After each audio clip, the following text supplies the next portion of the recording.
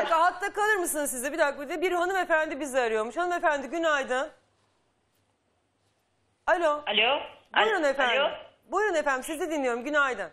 Ee, ben Ankara'daki ablasıyım Badegül ismim. Evet. Evet buyurun. Ee, e, demin Çiğdem de bahsetti. Beni aradılar zaten ATV'den. Evet. Ee, ki, e, Filiz yani Kumru diye hitap ediyoruz biz. Evet. Ee, Kayseri'den kaçıp geldiğinde Ankara'ya benim yanıma geldi. Tamam. Ee, bana yani ben çalışan bir insanım. Ye, kaçıp geldiği için güvenemedim.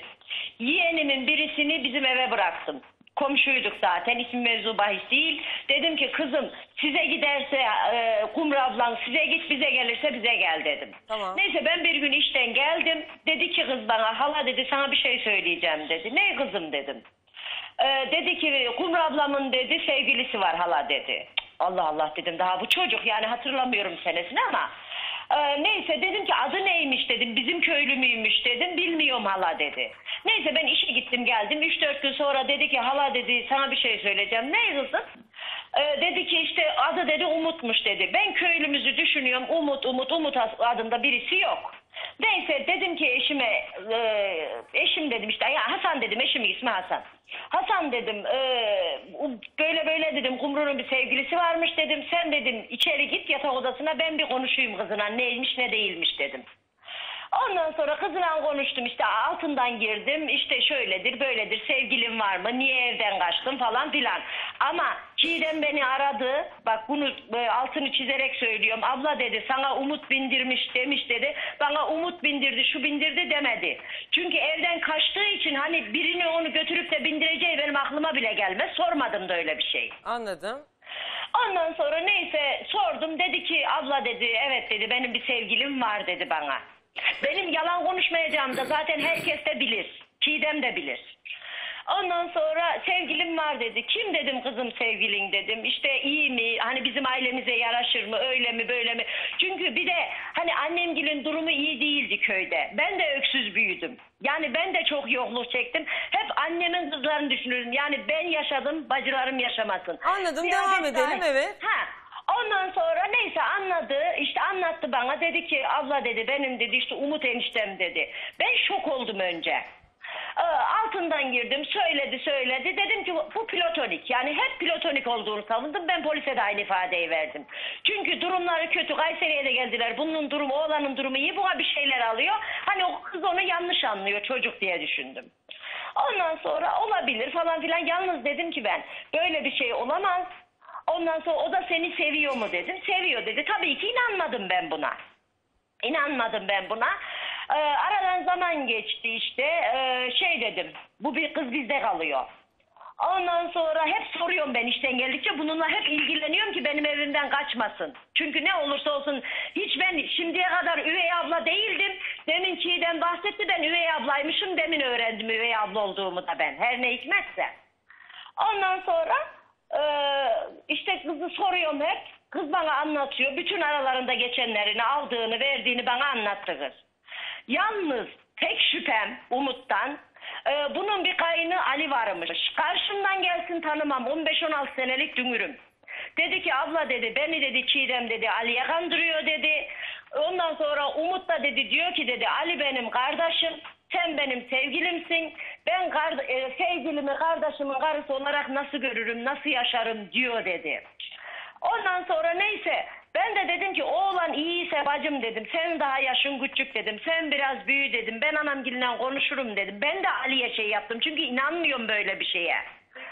Ondan sonra neyse kız eee, ondan sonra dedi ki bana sonra birkaç gün sonra ben dedi Kayseri'ye gideceğim. Gidince dedi abla dedi Çiğdem'i öldüreceğim dedi. Bunu bana dedi bizzat. Ben de dedim ki öyle deyince aa dedim Parayı nereden aldın? Parayı nereden aldın? Silahı neyle aldın dedim. Hiç başka bir şey aklıma gelmedi. Dedi ki silahla değil dedi. Ben dedi bıçaklayacağım dedi. Ertesi gün işe gittim. Ben patronuma söyledim hanıma. Dedim ki abla dedim bir şey söyleyeceğim. Ney böyle böyle dedim. Dedi ki kızım dedi bir psikiyatriye götür dedi. Bu çocuk olabilir dedi. Eve geldim kızla konuştum psikiyatriye gidecek randevu aldım. Tam işe gitmiyorum e, hastaneye götüreceğim ben de elimiyim deyin gitmedi. Üç kere gitmedi. Üç kere randevu aldım ben bu kıza. Çiğdem'i niye öldürüyor? e, Çiğdem'i e, öldürecekmiş. A, Çiğdem aradan çekilecek. Umuduna bu kavuşacak. O zaman da hiç unutmuyorum. Çiğdem ikizlere hamileymiş. O zaman hani çok diyaloğum bu kadar yoktu. Cep telefonum yoktu çünkü. Ondan sonra Yalnız Badegül Ee, Hanım ben efendim? sizin bu anlattıklarınızı gerçekten o kadar hayretle dinliyorum ki. Şimdi siz Ha. üç kız kardeşsiniz, bir kız Evet. kardeşiniz, diğer kız Dördüz, kardeşinizi dört, bir de benim öldürüp küçüğüm var. eniştesiyle beraber olacağını, onu Ha. aradan kaldıracağını söylüyor. Ha. Ondan sonra ben Yani a- ama, psikiyatri- ama ama bir dakika yani şimdi bu kadar rahat mı ben eniştemle beraberim falan demek yani? Ve onunla Bak, rahat hayır, yaşaması beraberim için demedi. ablasını Yani- öldürmeyi göze alıyor. Ee, demedi. Yani e, Çiğdem bana dedi ki telefon etti geçen mahkemeden sonra ben gidemedim Kayseri'ye. Abla dedi sen aralarında aşk var demiştin dedi. Ben dedim Evet. ki ben aşk var demedim. Ama p- hep polise de dedim ben o uzun boylu Resul'e bir de kısa boylu Esmer vardı. Hep platonik aşk, platonik aşk. Yani ama bunlar platonik çünkü- aşk nasıl olabilir? Sen Ali ile evlenme, sevdiğim Ha, insanı Ali'nin eşi göremem aklımdaki- demin. Tek tek aklımdaki şüphe bu benim yani içimdeki şüphe. Ondan sonra neyse zaman zuhur etti. Ha bu kız ge- kayıp e, bunu söyledi bana psikiyatriye anlamadım. götüreceğim gitmedi. Ben bunu Kayseri'ye göndermedim otobüste. Kaçar maçar dedim başım belaya girmesin dedim. Eşim işten geldi dedim ki Hasan dedim biz bunu dedim direkt arabayla götürek dedim Kayseri'ye götürdük. Anneme diyemedim sadece dedim ki anne Çiğdem'le bu kızı bir arada koyma. Bunlar anlaşamıyorlar dedim. Bunların arasında zaman bir niye var dememiş? dedim.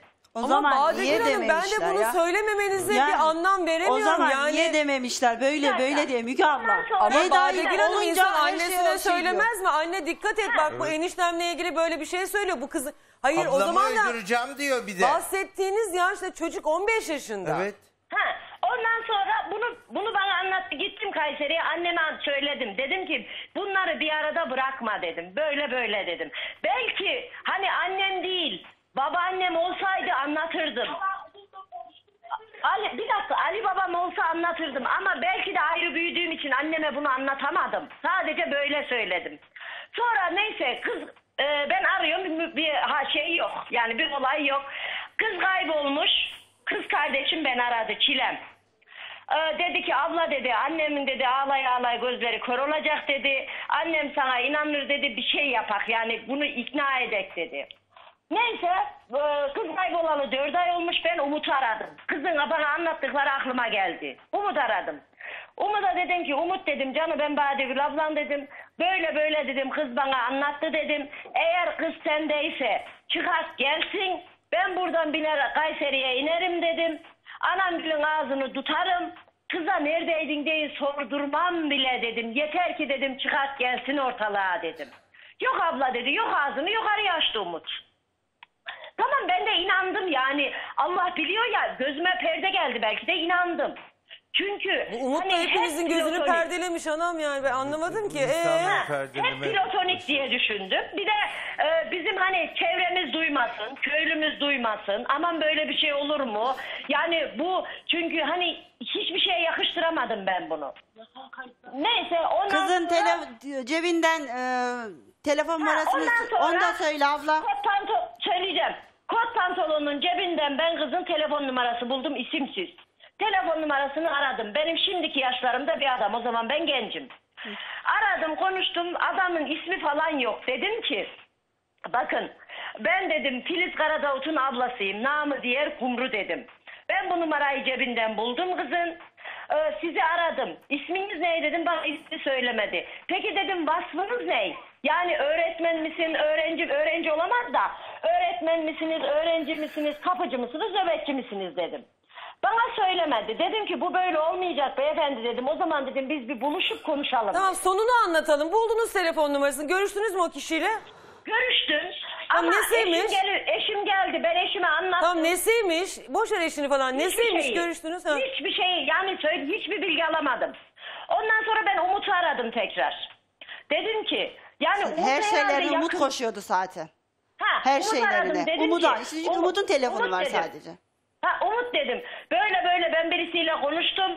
Ee, Bacanağım beni göndermiyor dedim. Adamla buluşacağım. Git bir adamla buluş. Bu kız neredeymiş dedim. Bir öğrenek. Yani biz hiç öldürüldü. Aklımızın ucundan dahi geçmiyordu. Hiç. Hiçbir Tamam zaman. konuştu mu Umut Bey?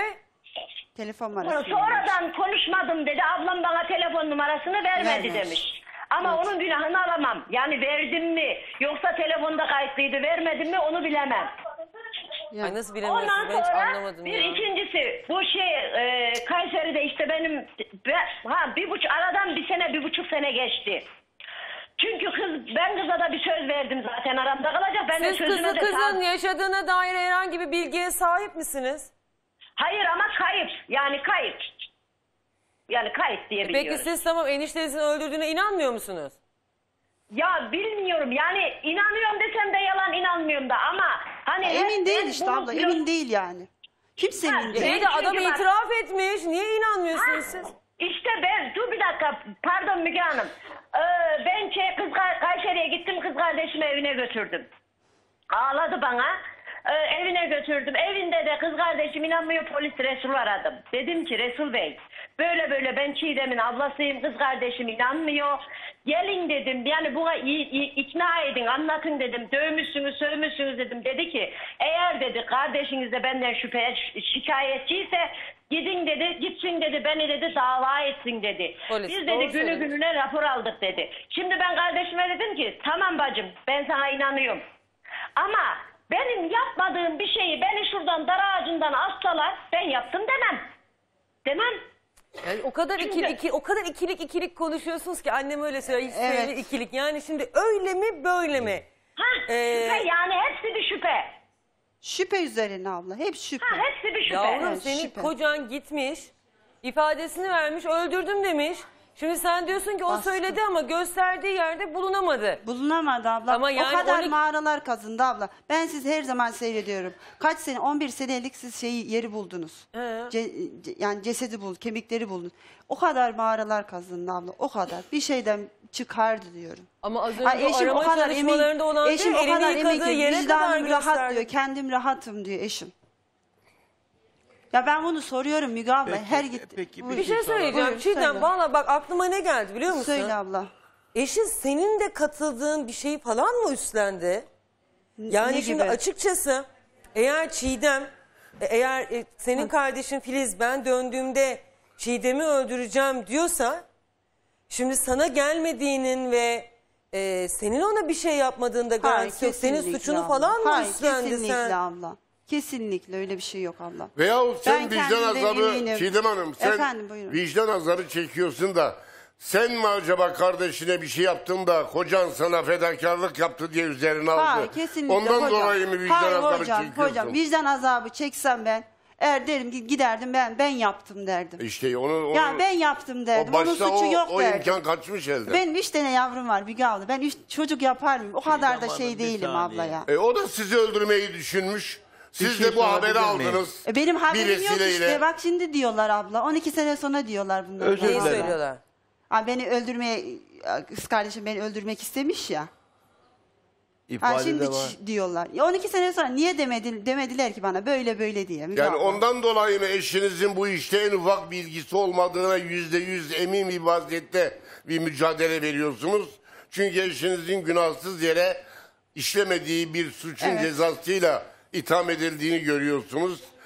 Yani aklıma gelen ihtimal oydu yani sizi madem ki kardeşiniz öldürmeyi düşünmüş Evet. siz de ona bir şey yapmış olabilirsiniz. Hayır, kesinlikle Ama hocam. eşiniz der ki Ben sen kendimden o kadar çocuklarımın eminim başında ki." dur ben üzerime Hayır alacağım bu hocam işi. hayır. Öyle bir şey olsa ben öldürdüm derim. Hani o çocuklardı ne olsa Çok bir- özür diliyorum. Ben, daha- bir şey Ama kimse sorabilir ben miyim? öldürürüm demiyor be yavrum. Hanımefendiye. Söyle Çiğdem hocam. Hanım'a bir şey Söyle soracağım. hocam buyurun hocam. Çiğdem Hanım ablanızın konuşmasını dinledik. Evet hocam dinledim. Ee, Filiz'in de Evet hocam. ablanıza sizin eşinizle ilgili duygusal bir şeyler beslediğini de duyduk. Evet hocam. Anlatabildim mi? Peki bu duruma ne diyorsunuz? Ya hocam ablam da bayağı dedi ya. Yani çocuk aklı hani eğer şey ettiyse yanlış anladım. E, Ben de onu diyorum. Sen de çocuksun. Yanlış Sizin aranızda anladı. kaç yaş fark var? Yani o 28 yaşında ben 30 yaşında yani 2 yaş. Yani